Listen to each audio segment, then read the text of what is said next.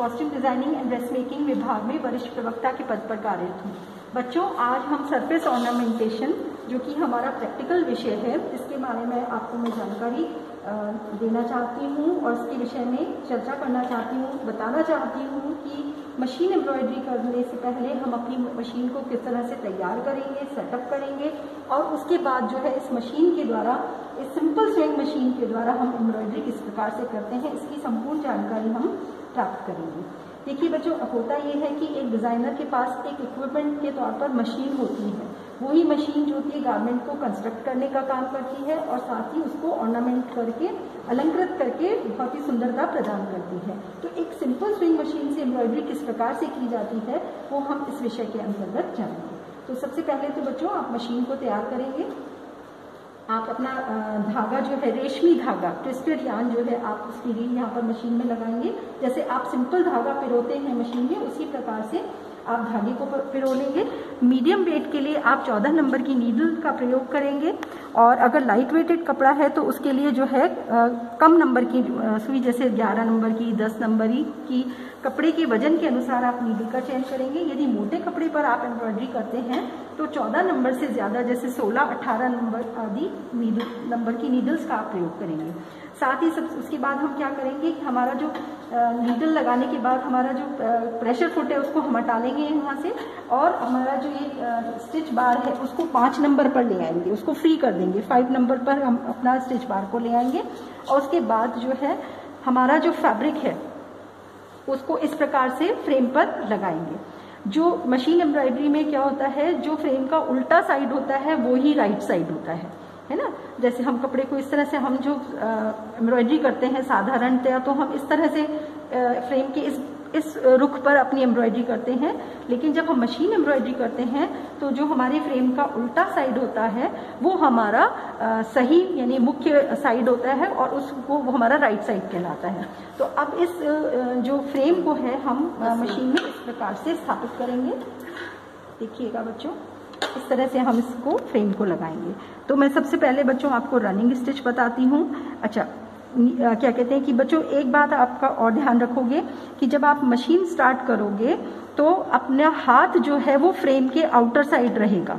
कभी भी आप नीडल के पास अपना आ, अपना हाथ या उंगली को नहीं रखेंगे बच्चों क्योंकि ये सुरक्षा की दृष्टि से अगर आप पास में रखोगे तो मशीन चलते चलते ना जाने आपकी उंगली में नीडल ना चली जाए। तो इस बात का ध्यान रखते हुए हमेशा फ्रेम के आउटर साइड पर आप आउटर साइड को पकड़ते हुए, फ्रेम को मूव करते हुए और पैरों से मशीन को चलाते हुए जो है वो स्टिचेस का निर्माण करेंगे। तो सबसे पहले हम जो है वो रनिंग स्टिच शुरू करते हैं।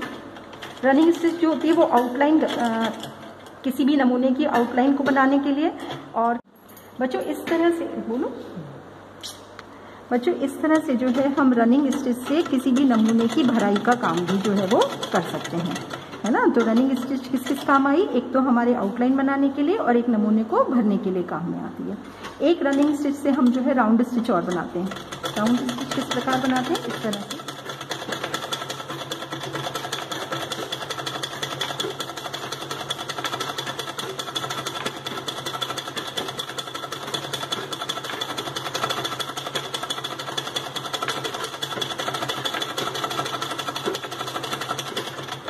ये राउंड स्टिच भी नमूने के भरने में भी काम में ली जा सकती है और आउटलाइन के हिसाब से नमूने के अनुसार काम में ली जा सकती हैं। एक बच्चों में आपको बताती हूँ साटन स्टिच हम किस प्रकार से करते हैं। देखो साटन स्टिच में क्या होता है, हमें बार बार हमारा जो मशीन का हैंडल है, उसको उठाना पड़ता है और एक एक स्टिच को साटन स्टिच के लिए बार बार उठाकर इस तरह से नीडल को पास पास पास पास लाना होता है। ये हमारी होती है इस तरह से इसमें साटन स्टिच आप देखेंगे। कि नीडल को हमें बार बार उठा करके एक एक नीडल को पास पास इस तरह से लेकर आना होता है।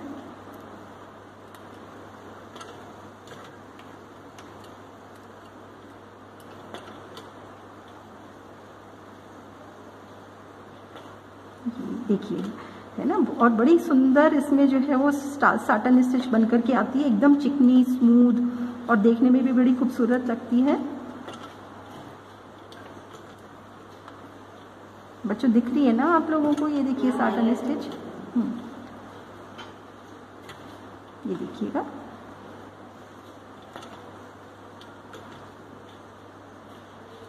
इस तरह से जो है वो साटन स्टिच हम बनाते हैं।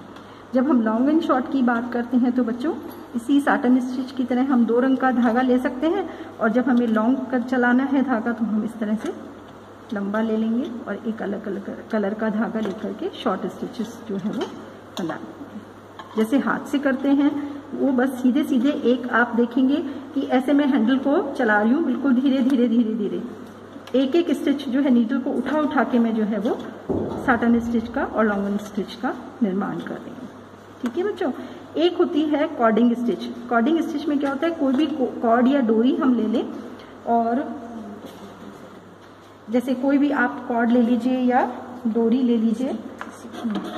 और उसको ना क्या कहते हैं आप उस पर कपड़े पर लग, नमूने के अनुसार उसको लगा लेंगे। और लगाने के बाद लगाने के बाद उसको हम जो है इसमें हम कॉर्डिंग के अंतर्गत हम दो स्टिचेस दो तरीके से हम इसको कर सकते हैं। एक तो काउच कर सकते हैं जैसे हम हाथ से जैसे ये हमारी डोरी है सपोज़ है ना? तो इसको पहले, एक तो होती है काउचिंग स्टिच आपने हाथ से भी की होगी। इस तरह से जो है वो डोरी को रख करके काउचिंग स्टिच के द्वारा उसको स्टे कर देते हैं, उसको फिक्स कर देते हैं। ये कहलाती है हमारी काउचिंग स्टिच ठीक है बच्चों, देखिएगा, इसको कहते हैं हम काउचिंग स्टिच जब हमें कॉर्डिंग करनी होती है तो तब हम क्या करते हैं? जैसे हमने साटन करी है ना पास पास पास पास बिल्कुल उसी प्रकार जो है हम साटन स्टिच करते हैं। इस तरह से,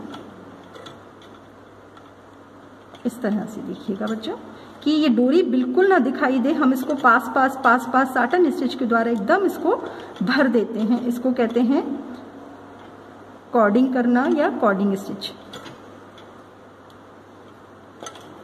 एक तो काउचिंग हो गया, डोरी को काउच करके फिक्स कर देते हैं और एक कॉर्डिंग के द्वारा जो है वो डोरी को फिक्स किया जाता है। ठीक है? एक होती है हमारी स्टिच होती है raised satin stitch raised satin stitch में हम क्या करते हैं कि ये है रेस्ड साटन स्टिच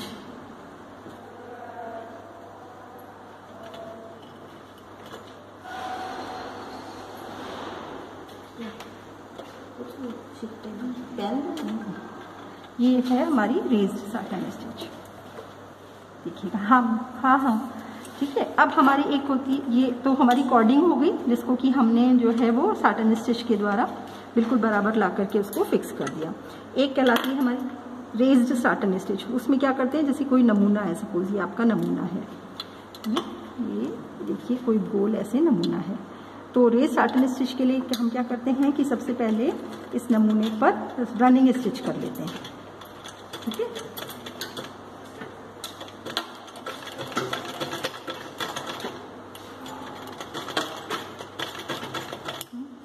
और इसको रनिंग स्टिच से ही इसको नमूने को एक बार दूर दूर थोड़ा सा भर लेते हैं या पास पास अगर आपको जितने रेज चाहिए, उस हिसाब से इसको पास पास एक बार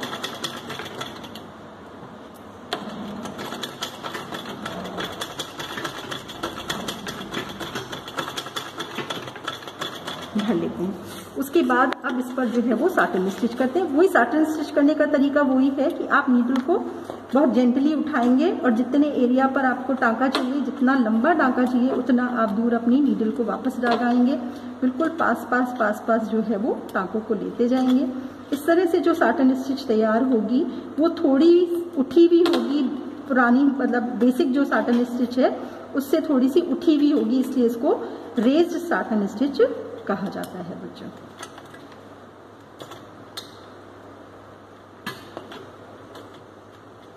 देख रहे हैं आपको। मशीन स्टिचिंग, मशीन एम्ब्रॉयडरी जो कहते हैं, बहुत ही पेशेंट का, धैर्य का काम है, लेकिन जब इससे गारमेंट पर अलंकरण किया जाता है तो वो बेहद खूबसूरत लगता है। आज के समय की मांग के अनुसार आपने देखा होगा, हमारे कपड़ों पर, हमारे जो बैग्स वगैरह हैं, उन पर आपको ज़्यादातर जो है वो मशीन एम्ब्रॉयडरी करी हुई आपको नज़र आएगी, बच्चों।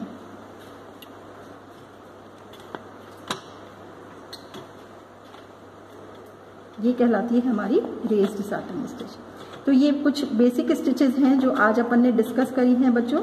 नेक्स्ट में मैं आपको टिपिकल टिपिकल एम्ब्रॉयडरी जिसे कहते हैं, उसके बारे में आपको बताऊँगी, जिसमें कि पैच वर्क एप्लीक वर्क और बाकी शेष एम्ब्रॉयडरी हैं।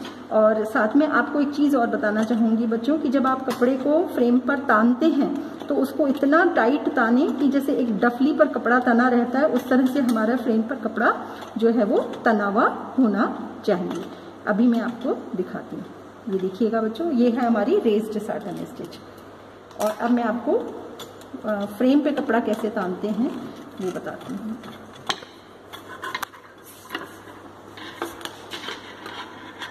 देखिएगा हमारी फ्रेम पे जो कपड़ा है, वो इतना टाइट होना चाहिए कि जैसे उस पर से टैपिंग की आवाज़ आए।